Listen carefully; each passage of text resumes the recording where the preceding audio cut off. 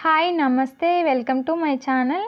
అందరూ బాగున్నారా అండి? మీ అందరూ ఇంకా బాగుండాలని నేను ఒక పూజ గురించి మీకు షేర్ చేయడానికి మీ వీడియోలోకి వచ్చేసాను. అది ఏంటా అంటే శ్రీ వెంకటేశ్వర స్వామి ఏడు వారాల వ్రతం అండి. ఈ వ్రతం చేసుకోవడం వల్ల మనం చాలా సంతోషంగా ఉంటామని చెప్పారండి. ఇది యాక్చువల్గా మా ఆయన వాళ్ళ కొలుక్ అంటే మా ఆయన వాళ్ళ ఫ్రెండ్ ఆ అన్నయ్య వాళ్ళు ఈ వ్రతాన్ని చేశారు. వ్రతం చేసిన తర్వాత ఇద్దరు దంపతులకు భోజనం పెట్టాలంట. ఏడు వారాలు ఏడుగురు దంపతులకు భోజనం పెట్టారనమాట చాలా బాగా చేశారండి. ఈ వ్రతం అయిన తర్వాత భార్యాభర్తలను పిలిచి భోజనం పెట్టి వాళ్ళకి జాకెట్ ముక్క ఆకు చెక్క తాంబూలం ఇచ్చి వాళ్ళు పంపించారనమాట అప్పుడు నేను అడిగాను అనమాట వదిన ఈ పూజ ఎందుకోసం చేస్తారు? అని చెప్తే ఆవిడ చెప్పారు చాలా బాగా వివరంగా చెప్పారండి.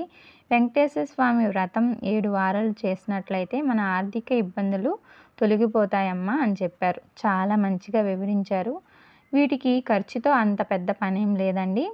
మట్ ఈ బియ్యపిండి ప్రమిదులు ఏడు చేసుకొని కొబ్బరికాయ ఒకటి అట్టిపళ్ళు ఆకు చెక్క ఉంటే సరిపోతాయి. పంచామృతం చేస్తారండి. అలాగే మనం ఏమైతే ప్రసాదాలు పెట్టాలనుకుంటున్నామో అవి పెట్టుకోవచ్చు. మన ఇష్టం అండి అది. ఆవిడైతే చిమిడి ఉంటుంది కదండి.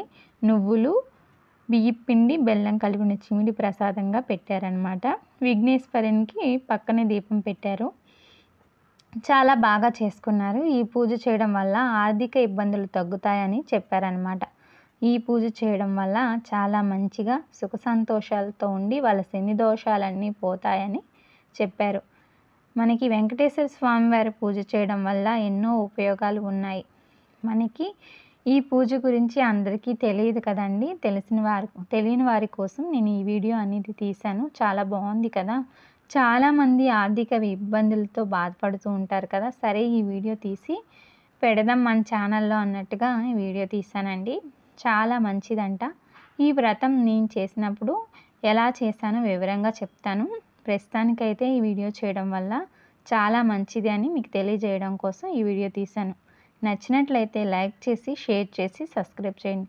Thank you for watching.